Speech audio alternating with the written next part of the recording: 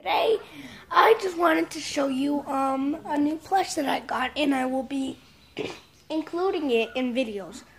So, here's the plush. It's a Mangle plush. And I got this thing at Target. If you guys want to go get some for your own, um, you guys could get one. Um, just so you guys know, I want to give a shout out to Jake Jones and follow him on Musical.ly. His name on Musical.ly is Jake Jones 999. So, yeah. I will be including this in some of my toy video, my plush videos, I mean. um, and yeah, hope y'all enjoy. I'll see you next time.